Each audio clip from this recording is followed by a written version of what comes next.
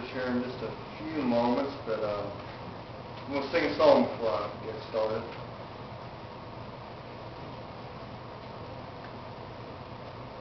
It's one of the only songs I ever sing in church, so I like this song. I've told the story many times that I've seen God move during this song.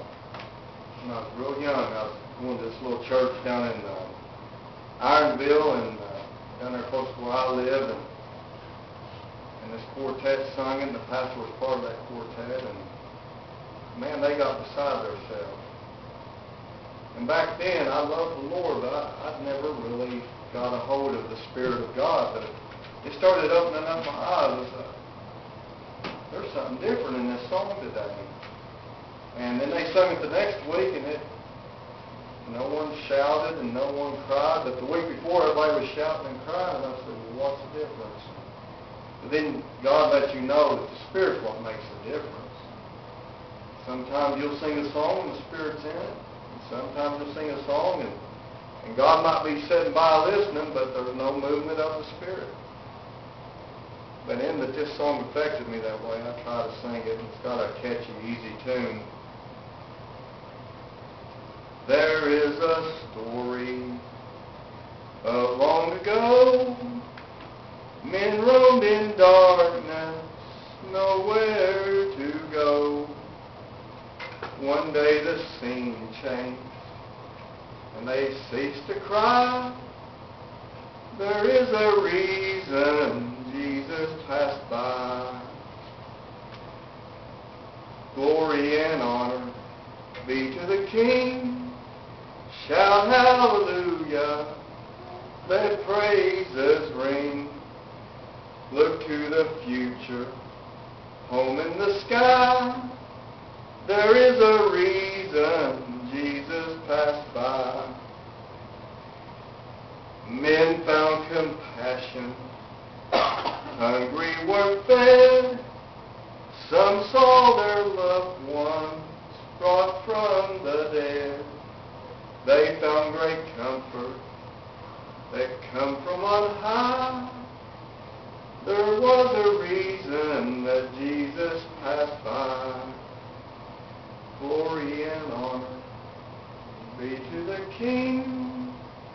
Shout hallelujah, let praises ring. Look to the future, home in the sky. There is a reason Jesus passed by. Third verse. One day a sinner, I found relief. Gone was my burden, gone was my grief. The angels were singing, and so was I. There is a reason Jesus passed by. Glory and honor be to the King. Shout hallelujah, let praises ring. Look to the future, home in the sky. There is a reason Jesus passed by. Amen. Lovely song. Amen. So this week, what I want to preach about, and I've found that different times in my life that this is true, but I'm going to call this today as far as just a key word or a, key thought, encourage yourself. Encourage yourself. And so I want you to turn, if you will, uh, uh, 1 Samuel chapter 30. I'm going to read verse 1 through 8. And I want to talk about David. This is just prior to David becoming king in his life, and uh, some some big battles are going on, and some things are happening to David. And we get the the famous test text that I've heard different ones quote, and the Lord brings it to my attention sometimes. We've got to encourage ourselves sometimes. We've got to remember the landmarks, remember where we've been. In order to understand where we're headed, we've got to know where we have been. So in, in, Samuel chapter 30 in verses 1 through 8, said, And it came to pass when David and his men were come to Ziklag, Ziklag, on the third day that the Amalekites had invaded the south, and Ziklag, and smitten Ziklag, and burned it with fire. And they had taken the women captive that were therein. And they slew not any of them, either great or small, but carried them away and went on their way. So David and his men came to the city, and behold, it was burned with fire. And their wives and their sons and their daughters were taken captive. Then David and the people that were with him lifted up their voice and wept until they had no more power to weep. And David's two wives were taken captive. Ahinoam, the Jezreelitess, and Abigail, the wife of Nabal, the Carmelite.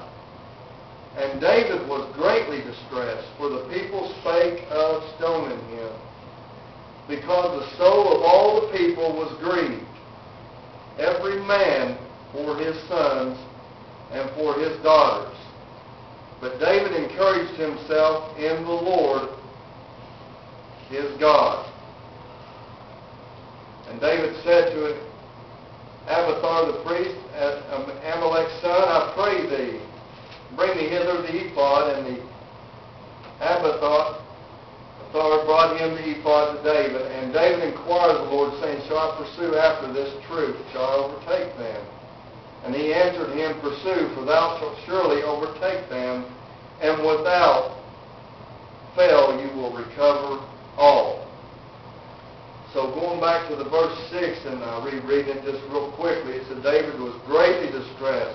The people spake of stoning him because the soul of the people was very grieved. It just told us that they wept until they couldn't weep no more. And uh, every man was weeping for their sons and their daughters, and, but David encouraged himself in the Lord, his God. He went to the only source of strength that he knew he could go to. He, he went to the rock where he knew he had found water before. He knew he went to the to the same God that helped him uh, stone Goliath and helped him overcome Goliath in the, the great battle with the stone to the forehead. And, uh, no doubt maybe when he encouraged himself, he remembered setting off Goliath's head and holding it up and, and showing the trophy of God that the Philistines the, the uh, uncircumcised, the unlearned, the unlawful, we're not going to trample the people of Jesus Christ, the people of God in this story. But David encouraged himself in the Lord. Bear with me and I'll go over here to another scripture that, that plays right in here. I want to show you that in, in chapter 18, chapter 18 and verse 6, of, of 1 Samuel, it said, And it came to pass, as they came, when David was returned from the slaughter of the Philistine, that the women came out of all the cities of Israel singing and dancing to meet King Saul with tabrets and joy and with instruments of music. And the women answered one another as they played and said, Saul has slain his thousands, and David his ten thousands. And Saul was very wroth, and the same displeased him, and he said, They have ascribed unto David ten thousands, and to me they have ascribed thousands. And what can I can he have more than but the kingdom? And Saul eyed David from that day forward. And it came to pass on the morrow that an evil spirit from God came upon Saul, and he prophesied, and he prophesied in the midst of the house, and David played with his hand as at other times, and there was a javelin in Saul's hand. And Saul cast the javelin, for he said, I will smite David even to the wall with it. But David avoided out of his presence twice. And Saul was afraid of David because the Lord was with him and was departed from Saul. But in these few scriptures, we see that uh, the up and down, the, the going back and forth, the victories, and, and, and how we'll come off a victory. And it seems like that we no more than get off a victory, that the devil's coming up against us again. And they come out, they were dancing and singing because David had returned from the slaughter of the Philistine. He, he had slew Goliath with, with, the, with the rock to the forehead, and they were celebrating because this was a great celebration. It said they, they were dancing and, and singing, and that they, to, to me, with the tabrets and the joy and the instruments of the music. And they began to brag on David, and, and they began to also brag on Saul, which was king, but they bragged a little bit deeper and heavier on David. And King Saul, which was, was the king of the land in that days, became jealous of David, even to the point that he threw a javelin at him. It says twice he done this, and said twice the Lord delivered David out of my hand. And, and then uh, just 12 short chapters later, you have this where David's out in, in the war field and, and still fighting against the, the, the different battling elements, and he goes to this city called Ziklag only to find that, that his wife and, and all the people of, of the people that he represented here, the, the Israel people, had been taken hostage and, and taken out, and it said he encouraged himself in the Lord. He remembered who his God was. He went to his God. Amen. So if you remember over in the, I'll try to slow down just a little bit here. Because I'm going to I'm to end up over in the New Testament in just a little while, but the thought going to be encourage yourself, which leads to a lot of different questions. How do we encourage ourselves? But 1 Samuel and chapter 30 and about verse 8, it's talking about after David inquired of the Lord, he said, Shall I go after this troop of men that's stolen my wives and stolen these people's sons and and all of our goods, and, and this what we've been weeping over, shall I go after the Lord? See, he didn't get all haughty and, and high-minded, but he went to the Lord to find out if it was okay to go to war with this people, because you will not win any battle truly if the Lord's not with you. If you win a battle and the Lord's not in it, the Lord's still not in it. And David knew this, and so he said, Shall I over, Shall I pursue after this troop? Shall I overtake them? And he answered him, Pursue, for thou shalt surely overtake them, and without fail recover all. And just a reminder in verse 7, this is Abiathar the priest that David is inquiring of, of the mouth of the Lord to see what the Lord wanted to do. And so we get over in uh, verse 16, he's, he's been on this pursuit, and they, they, they find somebody that can lead them to where these uh, this band of men are, this uh, Amalekites that had uh, invaded the south and had invaded Ziklag.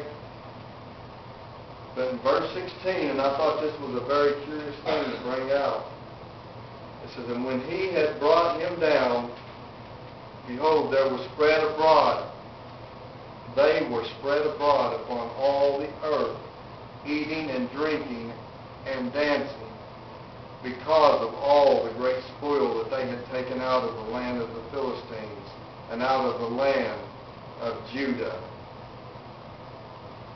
And verse 17 says, David smote them from the twilight even unto the evening of the next day, and there escaped not a man of them say 400 that rode upon camels and had fled. So David had a victory here. And he recovered all that the Amalekites had carried away, and David rescued his two wives.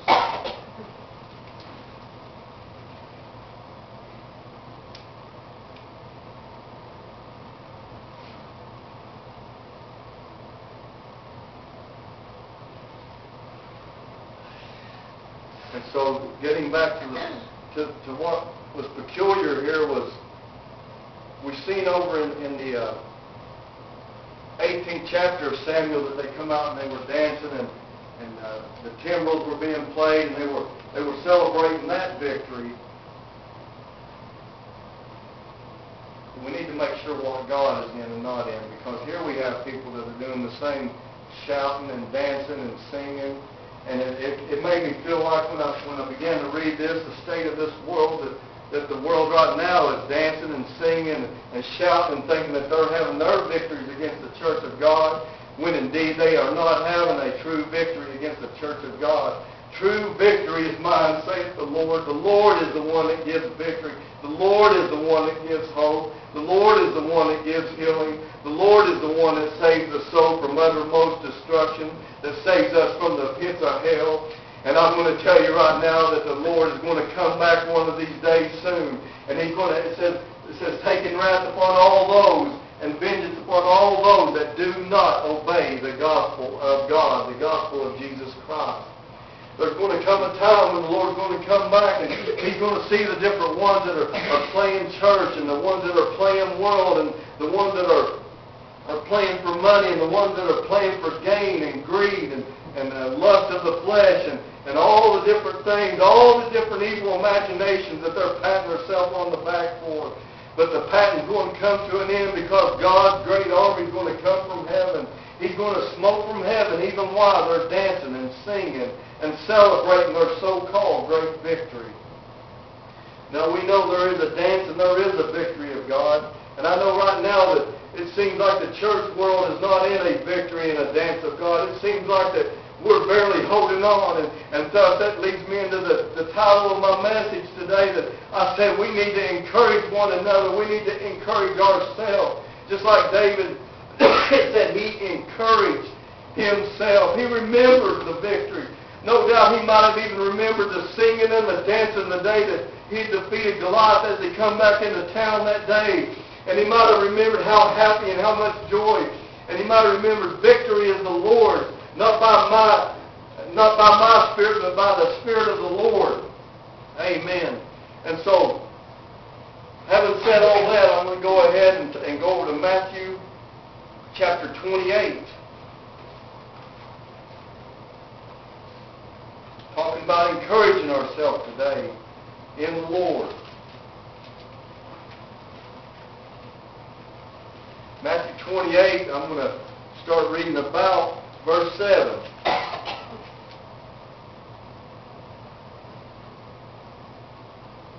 And go quickly. I'm going to back up to verse 6. It He is not here, for he is risen. And he said, Come see the place where the Lord lay. This is the angel talking that they had found at the tomb of Jesus. So go quickly and tell his disciples that he is risen from the dead. And behold, he goeth before you into Galilee. There shall you see him. Lo, I have told you. And they departed quickly from the sepulchre with fear and great joy, and did run to bring his disciples word.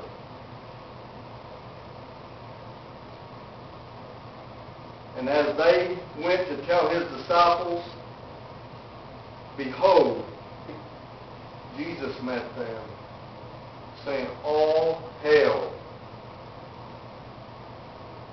And they came and held him by the feet and worshipped him. Then said Jesus unto them, Be not afraid. Go tell my brethren and they that they go into Galilee, and there shall they see me. Now when they were going, behold, some of the watch came into the city and showed unto the priest, chief priest all the things that were done. And when they were assembled with the elders and had taken counsel, they gave large money unto the soldiers, saying, Say ye, his disciples came by night and stole him away while he slept. And if this come to the governor's ears, we will persuade him and secure you. So they took the money and did as they were taught.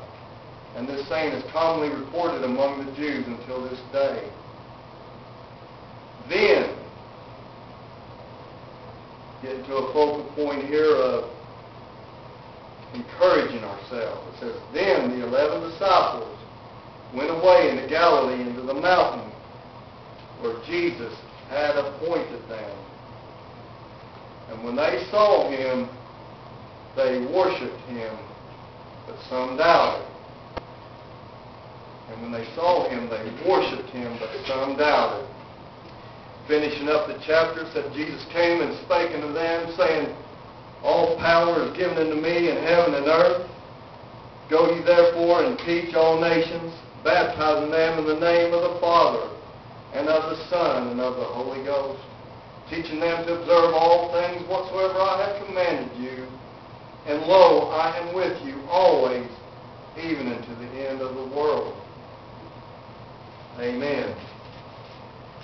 So just elaborating here for just a few moments, that, that verse 17, it says, and they worshiped him. And, and, and that word encouragement was just so strong in my mind, that word that we need to encourage ourselves. And, and what better encouragement than to fall at the feet of Jesus and to fall at Jesus and worship Jesus. So, so what the word is saying is that when we when we worship Jesus is when we find our joy, when we find our strength, when we find our baptism in the Holy Ghost, when we, we find our answer to financial needs and, and financial queries and things like that, it's all at the feet and the need of Jesus. That's the place where we encourage ourselves is at Jesus. And that's the reason that uh, example that the Lord put in my heart that, that even in the Old Testament, in order to encourage yourself, how do you encourage yourself? You fall at the feet of Jesus. You worship Jesus. And then Jesus is going to give you instruction and peace of what to do and what to obey and, and what to hear and what to say. But we got to find Jesus and we got to encourage ourselves.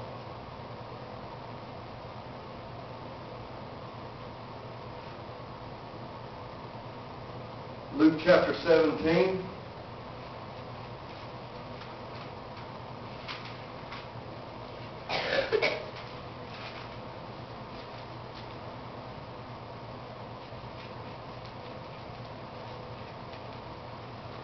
Luke chapter 17 and about verse 12.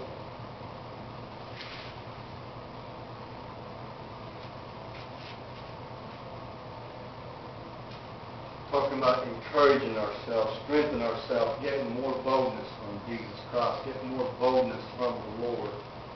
And so it says, and as he entered into a certain village, there met him ten men that were lepers, which stood afar off. And they lifted up their voices and said, Jesus, Master, have mercy on us. And when he saw them, he said unto them, Go show yourselves unto the priest. And it came to pass that as they went, they were cleansed. And one of them, when he had saw that he was healed, turned back and with a loud voice glorified God and fell down at, on his face at his feet, giving thanks, and he was a Samaritan. And Jesus answered and said, Were there not ten cleansed? But where are the nine? There are not found that return to give glory to God, save this stranger. And he said unto the, and he said unto him, Arise, go thy way, thy faith has made thee whole. And so we have the one leper coming back to Jesus and, and falling at his feet and worshiping him. And so we're, we're still on the, the, the simple thought of this message today is encourage yourself. Encourage yourself. You know, and it, it just made me think that, that a lot of people today have been healed by the Lord Jesus Christ, and a lot of people have been touched, and, and uh, different uh, prayers have been answered, but they never actually go to Jesus to get the further instructions of what they need to do. They don't encourage themselves. This, this is uh, this is such a walk that it's designed that it's going to tear us down. It's going to weary us. And if we don't learn, just like it says here on the wall, that they that wait upon the Lord are going to renew their strength, we need to wait on the Lord. We need to be at the Lord's feet. That is what it means by encourage yourself. You have no way of truly encouraging yourself within yourself unless the God of all glory be in yourself. And if the God of all glory not be in yourself, you need to go to the, God of all glory and get him in yourself that you can have further instructions. I know that, that just like the leper here, it said only one out of ten went back to Jesus. And truly, we have a lot of people that are coming in the doors of Jesus Christ today, but they're not actually going to the feet of Jesus to be encouraged. Uh, I'm reminded of Acts chapter 8. It says, and when the Holy Ghost is coming, it says you will receive power from on high when you receive the Holy Ghost, when you receive the power of Jesus Christ. We need to encourage ourselves just like David did. We need to remember who we are and what we are and why we are. We need to remember that it's Jesus Christ, it's God made flesh, it's Emmanuel, God with us that died on the cross. And, and like I say, as I started preaching today, when, when God first put the, the Spirit on me on this particular scripture, I was thinking, well, maybe the Lord wants me to preach a, a one God message, and, and truly that's a good message, that there's only one Lord and one faith. There's only one God who became flesh and dwelt amongst us, and we beheld his glory as the only begotten of the Father. But then as I began to look at it, uh, no doubt the disciples were distraught. They'd, they'd seen their King of Kings and their Lord of Lords put on the, holy, the, the ugly cross for, for, the, for the remission of sins, and all that blood was drained out of him for our sins and, and for our cause and for our justification. But they didn't know that just yet. They hadn't connected with the fact of the things that he had said. He said, I must go away, that I can send a comforter into your heart, and you shall know him, for he is with you right now. No doubt they were so down and out, and, and they'd had their I, I quit signs, and maybe they'd laid their instruments up in the willow tree, or, or maybe they'd said, I'm of no more use. What, what you sins are, are one chance to ever be free in God and to have what we had in the old times. But they didn't realize that that which the, the prophets diligently would have wanted to have inquired and looked into was even at the doorstep. Because after Jesus departs from them, it's only about 120 days later that they're in the upper room and they're in one mind and one accord. And, and, and you talking about encouraging yourself. Where did they go when they needed that encouragement? They didn't go back to the old traditions of the law that, that, that couldn't save, but they went to the, to the new substitute, the new offering, the new blood offering that had been gave on the cross. They went to Jesus Christ looking for something. They didn't give up hope. What does it mean to encourage yourself? It means to not give up hope. If you pray two times for the Holy Ghost, pray a third time. If you prayed a hundred times for the Holy Ghost, pray that hundred first time. Because you're not going to find peace. You're not going to find hope in anything else but Jesus Christ and in the baptism of the Holy Ghost and in the baptism in Jesus Christ's name for the remission of sins. So today I'm preaching encourage ourselves. We need to encourage ourselves. And, and uh, I think I started out by saying sometimes we end up preaching things that's what we're going through. And I know that even the little things make a difference. I, know that sometimes I, I'm preaching on, on the Facebook world, and, and sometimes even a stranger will say, will say, thank you, I needed that. And sometimes it means the world to me to have some encouragement, to have someone believing in your cause of what you're doing to respond to what you are and who you are in Christ. And so today I reach out, and by way of the anointing, and by way of preaching, I reach out to pat the church on the back and say, be encouraged. Encourage yourself, church. We've come too far. We've turned up nations. We've turned up governments. We've turned the world upside down with this gospel of Jesus Christ. Now is not a time to quit. This is a time to grab hold of the plow and not be looking back because it's time, it's time to march forward. Never in a time have we seen more people splitting hell wide open than what we're seeing right now. And we're in a time that we're wanting to quit. At a time when we're supposed to be getting in gear and going full speed ahead. It's a time that the devil says, I got them not where I want them. But we have a little secret. We can go to the feet of Jesus at an appointed place, at an appointed time, and we can find the know that uh, I, I noted it a while ago, and it said a certain place had been appointed to them in the mountain. God has a certain place for everybody under my voice today, where it's a place for you to meet God. Some of you, it may be at an altar of prayer, if God's appointing you to be at an altar of prayer today. And some of you, it may be in your prayer closet at the house. Some of you, it may be listening to a certain set of gospel music while you're praising and shaking all over under the anointing of God, or you may be praying in another tongue and God's interpreting through His own Spirit to yourself and encouraging you. I'm talking about a church that needs encouragement. I'm talking about a church that is not encouraged, that needs encouragement, that needs hope, that needs some zap, that needs some zeal, that needs some wow put into their step. We've lost sight, we've lost sight of the Savior. We've, we've seen that He can heal. We've seen that He can deal with people and He can change people's lives.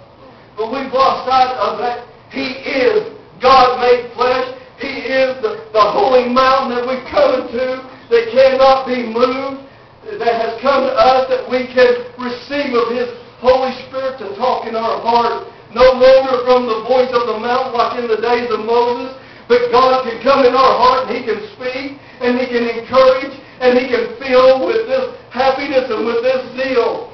And, and, and I feel led to, to say today, I feel driven by the Lord to say, church, it's time also while we encourage ourselves, that while that we learn to be happy, that we quit going around like we're drinking sour lemon juice all the time, that we learn to embrace this life that we're in and live it to the fullest and live it to the happiest and live it according to wisdom and knowledge and embrace the Word of God, how it gives us instruction of such things. We are not an unhappy people. Over in Romans it said that peace and joy and righteousness in the Holy Ghost, that's what the Holy Ghost is. It's not meat and drink, but it's joy and happiness.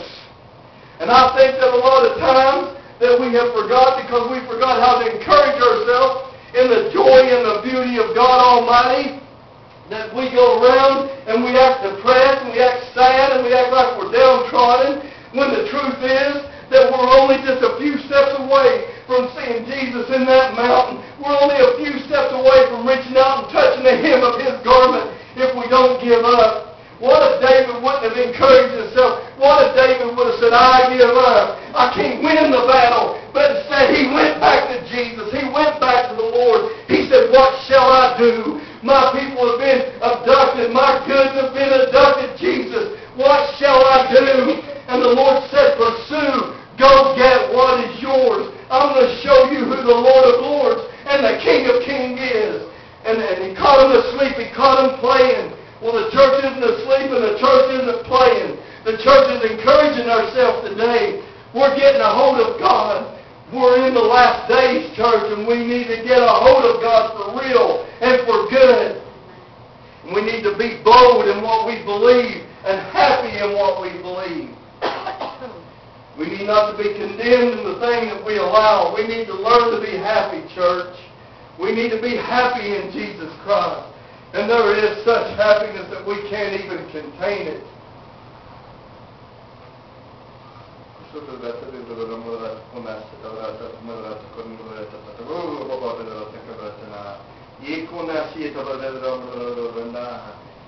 Bless your name, Jesus. Bless your name, Jesus. Praying in the most precious power and the anointing of the Holy Ghost. We're living in a day in a society where people have not went back to the feet of Jesus and got all the goods, got all the instructions. Got, uh, just like the woman that said they brought her in, in, in adultery, she'd been caught by the Lord and there was no condemners. And he said, go and sin no more. There's further instruction when we encourage ourselves.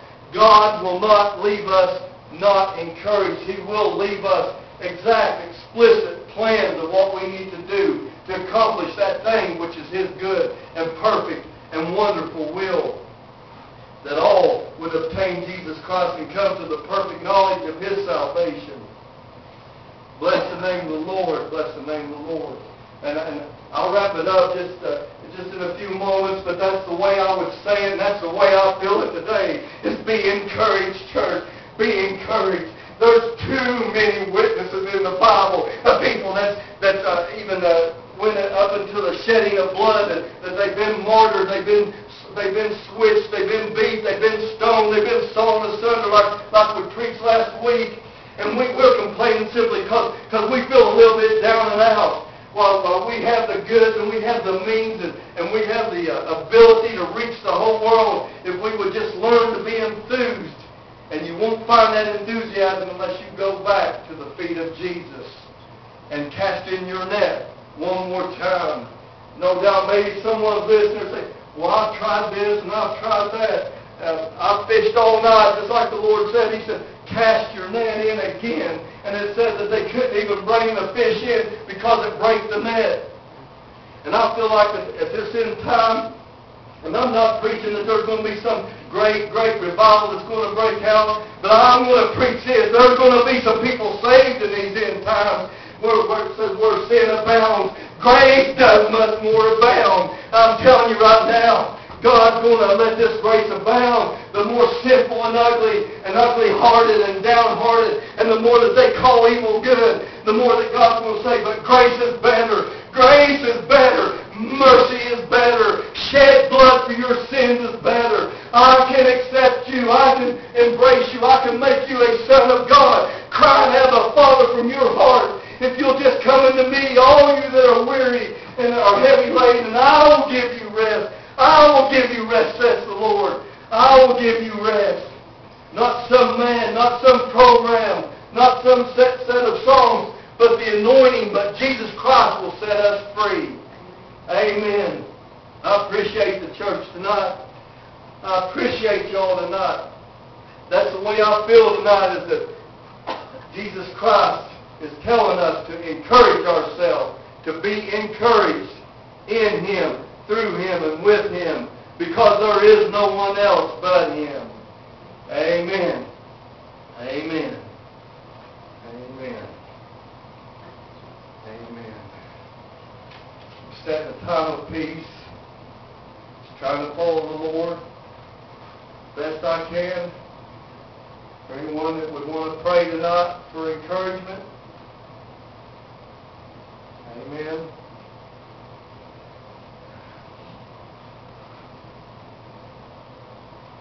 Anybody hear my voice?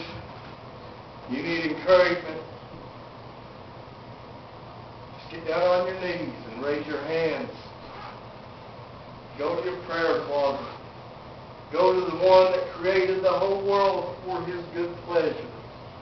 Go to Jesus Christ and encourage yourself. It's all in the name of Jesus. Amen.